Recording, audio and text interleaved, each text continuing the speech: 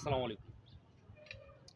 আসলে আমরা যখন মিডিয়ার নিউজগুলো এখন দেখছি, তখন আসলে আমাদের চোখটা আসলে কপাল উঠে যাচ্ছে এক কথায়। কেন উঠে যাচ্ছে? দেশের প্রত্যেকটা খাতে, প্রত্যেকটা জায়গায় দুর্নীতি।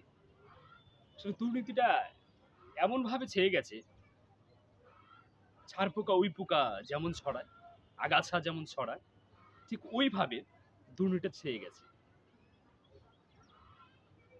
যখন এই দুর্নীতিগুলো আমরা আসলে একের পর বের হয়ে আসছি, আওয়ামী লীগের নেতা, মন্ত্রী কিংবা নিচ্চ যারা নেতা, খেতা যারা আছে, তাদের প্রত্যেকটা জায়গা থেকে এই জিনিসগুলো যখন বের হয়ে আসছে, আমরা এখন যখন ছাত্র জনতা, ছাত্র, সাধারণ মানুষরা যখন এটা দেখছি, তখন আসলে আমাদের এই চোখটা এখান থেকে এখানে উঠে যাচ্ছে।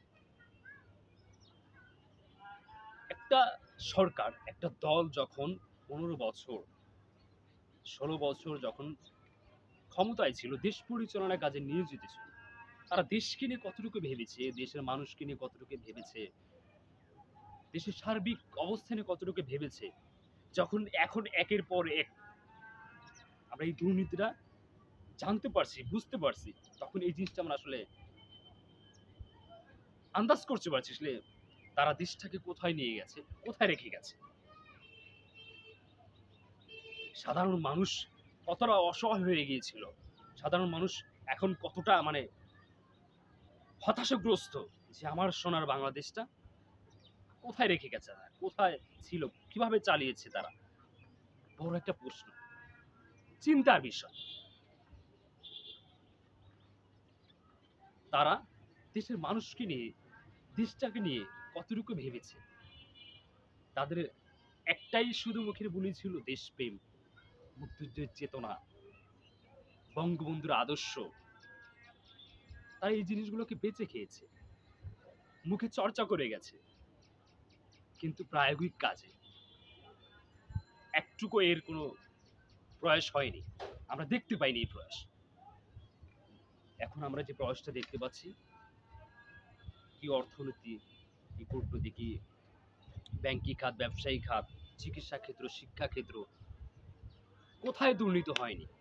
কোথায় সমস্যা রেখে যায়নি? কোথায় জল ঘোলা করে যায়নি? তখন আমরা শুধু মিডিয়ার সামনে এসে বিভিন্ন নেতা মন্ত্রীদের নীতি কথা মুক্তিযুদ্ধের চেতনা, দেশপ্রেম নিয়ে কত কথা বলেছে, কত কথা আমরা দেখেছি। কিন্তু পেছনে, আড়ালে আবডালে আসলে কত মানে দুর্নীতির শাখা প্রশাখা, এত কিছু, এত অভিনব যে প্রতারণা করে গেছে ওরা। এত অভিনব, জঘন্যতম দুর্নীতি করে গেছে। যেটা আসলে আমরা সাধারণত চিন্তাও করতে পারছি না যে আসলে এই দেশের যারা নেতা, এই দেশে একটা দল, আওয়ামী লীগ দল, তারা দেশটাকে এতটা চুষে চুষে খেয়েছে চুইংগামের মতো। আমরা যারা এই দেশের সাধারণ মানুষ, ছাত্র সমাজ, তরুণ সমাজ যারা, তারা বুঝেছি আসলে অনেক দেরি হয়ে গেছে। দেরিটা হয়নি বলব, কিন্তু বুঝতে পেরেছি যে আমাদের ক্ষতি করছে। এই ক্ষতিটা আসলে এইভাবেই করছে। এভাবেই ক্ষতিটা করে গেছে। নিজেদের পকেট, নিজেদের অবস্থানটাকে শক্ত পাকাপোক্ত করে নিচে যারা, তাদের নিচে যারা সাধারণ মানুষ, তাদেরকে পিষিয়ে, চুষিয়ে, মেরে তাদের জীবনটা চালিয়ে নিয়েছে। আমাদের যারা সাধারণ মানুষ ছিল, সাধারণ মানুষের কথা, এক বিন্দু তারা ভাবেনি, এক বিন্দু ভাবার প্রয়োজন মনে করেনি তারা। How this possible how this politics একবার ভাবেন। তারা এই যে আমাদের আইনমন্ত্রী, এই যে আমাদের স্বরাষ্ট্রমন্ত্রী, এই যে আমাদের তথ্য প্রতিমন্ত্রী, এই যে আমাদের বেসরকারি তথ্য বেসরকারি উপদেষ্টা, প্রধানমন্ত্রীর বেসরকারি উপদেষ্টা সালমান এফ রহমান, এই যে আমাদের বড় বড় বিশেষ মনিজীবী মনীষীগুলা বিশেষ মন্ত্রীগুলা, নেতারা একের পর এক বের হয়ে আসছে। ওদের চিন্তা ভাবনা কতটা অসুস্থ হয়ে গেছিল, কতটা ক্ষীণ হয়ে গেছিল, কতটা অসুস্থ হয়ে গেছিল, যেটা একবার চিন্তা করলে আমরা সাধারণ মানুষ আসলে মনে হয় যে আসলে আমরা স্বপ্নে ছিলাম ঘুমিয়েছিলাম এতদিন আমাদের ঘুম ভেঙেছে, এতদিন আমরা সজ্ঞানে, সুস্থ জ্ঞানে ফিরেছি।